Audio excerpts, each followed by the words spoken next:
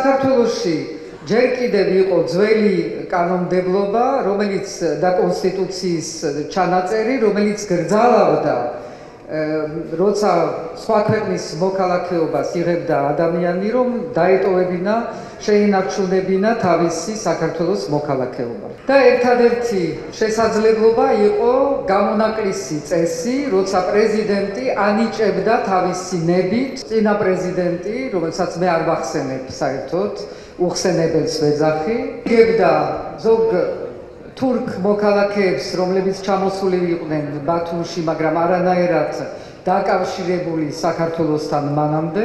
ეხლანდელი პრეზიდენტი ვარს ამბობს ხშირად და არავინ არ იცის რეალურად რა კრიტერიუმებზე დაფუძნებული და ეხლა პარლამენტში მივიღეთ ახალი კონსტიტუცია და ახალი კანონი, რომ ყველა ვინც იყო საქართველოს მოქალაქე და მიიღო სხვა ქვეყნის მოქალაქეობა მას შეუძლია უკვე დღევანდელი დღიდან შეიტანოს განაცხადი და მოითხოვოს, რომ აღდგენილი იყოს მისი საქართველოს მოქალაქეობა. რომელიც ამ განცხადებას წერს და ითხოვს, რომ აღდგენილი იყოს მისი მოქალაქეობა, იცოდეს ელემენტალური ქართული და იცოდეს ელემენტალური საქართველოს ისტორია. ამისთვის ხადი არის ეს ელემენტალური ენის ცოდნა აუცილებელი არის, მაგრამ ეს არის აუცილებელი თქვენი ცხოვრებისთვის ამ სახელმწიფოში.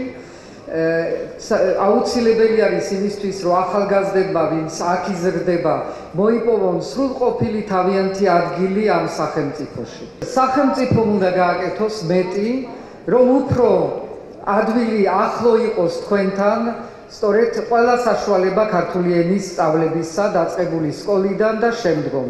პირველივე შეხვედრიდან ჩანს, რომ ხარდაჭერა საკმაოდ თვალნათელია. თვალსაჩინოა და ქალბატონის ალამეს შეპირებებით ამ ინტეგრაციის პროცესებთან დაკავშირებით უფლებების დაცვის საკითხებთან დაკავშირებით იქნება კმედითი